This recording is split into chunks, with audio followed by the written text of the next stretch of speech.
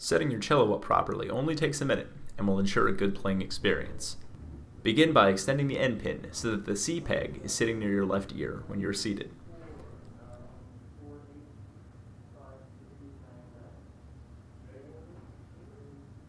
The scroll of the cello should come to about chin height if you're standing.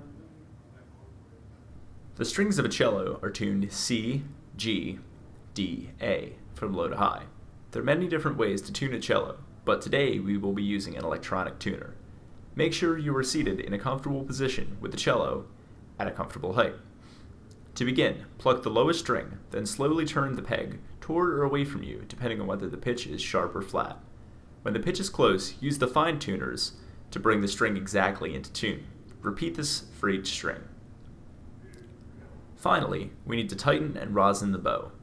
Slowly turn the screw clockwise to tighten the bow, counterclockwise to loosen.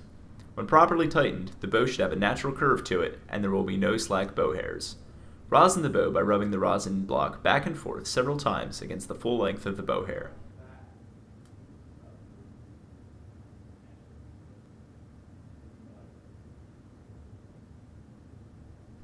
After playing the instrument, make sure to wipe the body down and the strings with a dry cotton cloth.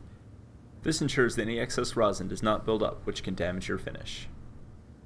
Make sure to have your strings changed regularly and have your instrument maintained at Zeswitz Music Full Service Shop yearly. Thank you.